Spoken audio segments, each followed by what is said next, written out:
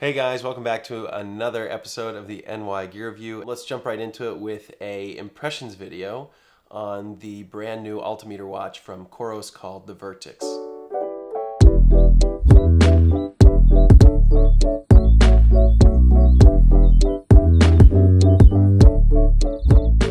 I was reached out to by Coros and asked to do a uh, in-depth review as well as an impressions video on this watch. Um, so they did send me that product um, just so you guys are aware and keep that in mind. Okay, so I have spent about a week with this watch so far, um, and I'm just gonna give you guys a rundown on some of my initial impressions and um, first thoughts after having worked with it and worn it all day, every day for um, a little over seven days.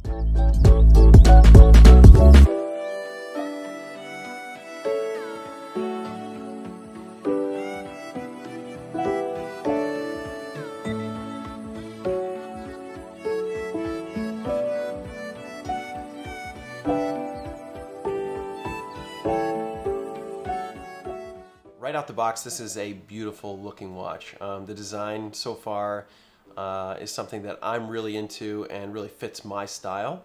For the way this watch is coming in at 75 grams, I'm impressed so far that such a large watch um, actually doesn't carry as much weight as you might expect. It's also pretty competitive with um, other brands' offerings of the same style watch, such as the Fenix um, 5 Sapphire, as well as the Suunto 9.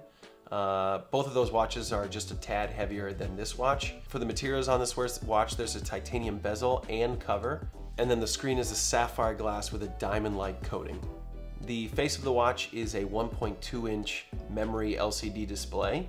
Um, the pixel layout is 240 by 240. So far my impressions of the display are that the colors are a little bit duller than um, I might have wanted or expected from this watch. The Vertix does feature a built-in barometer, altimeter, and compass. Regarding battery time, so far this thing has been an absolute champ. I am on seven days of full use. I uh, haven't taken it off or turned it off. And I'm at 68%, um, and I started with a full charge. Coros says you can expect 45 days of regular use on just one charge with this watch. However, when you go into GPS mode, you can expect 60 hours in full GPS mode and then 150 hours in Ultra Max GPS mode.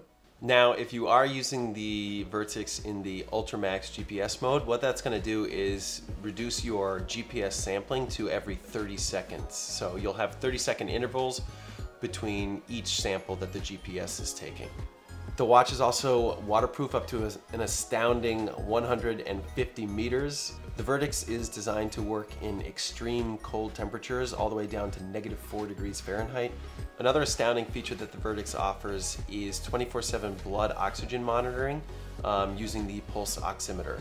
So this is useful to see how well you are acclimatizing to uh, high altitudes when you're going on big hikes or doing mountain climbs, whatever it is, to see how efficiently and how quickly your body is acclimatizing. I will say these wrist-based monitors aren't as accurate as they probably could be. Um, and so this watch is also designed to work with ANT or chest uh, strap heart, chest, chest strap heart monitors um, to get a more accurate reading on your pulse.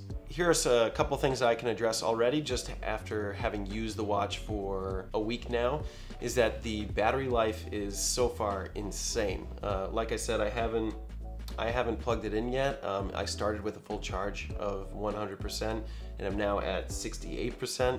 So overall, I'm thoroughly impressed with the battery life for this watch. Um, and that includes sleep monitoring, heart rate monitoring, um, it counts your steps as well as its counting your elevation. Uh, I have noticed that over the past couple of days, the watch will pick up some inaccurate readings for heart rate or the altimeter will be a little bit off or temperature. However, regarding the temperature, this watch isn't really intended to take your surrounding temperature unless you're submerged in water. Otherwise, the temperature that you'll be reading will be a little bit influenced by your own body heat. I think overall what Coros is going with for this watch and design is really zeroing in on the housing and the quality of the components being used. I think this watch is going to be incredibly durable, as well as the fact that it can withstand such cold and high temperatures, as well as high depths of 150 meters. One of the features that I've really gotten into so far is this sleep monitoring. Um, I haven't been able to use the watch on any big hikes yet. I have those coming up for some testing.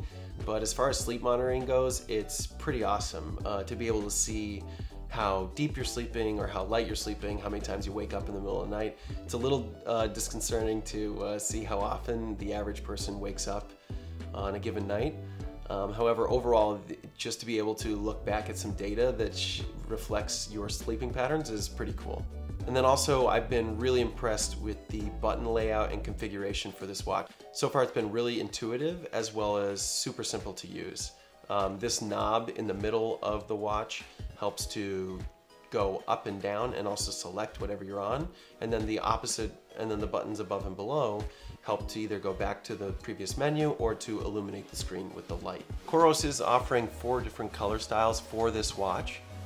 The watch comes in the dark rock that you see right here, as well as Fire Dragon, which is this orange. Then we have the Mountain Hunter, which is this green, and the Icebreaker. And like I said before, the Icebreaker will be coming in at $100 more than the other watches. Customizing the watch can be pretty simple. Some of it can be done in the watch itself, and then others, other elements of changing the settings is done in the Coros app. Such things as changing the layout of workout screens as well as changing the watch face and having custom watch faces. I will be doing a full-on in-depth review of the Vertix coming later on.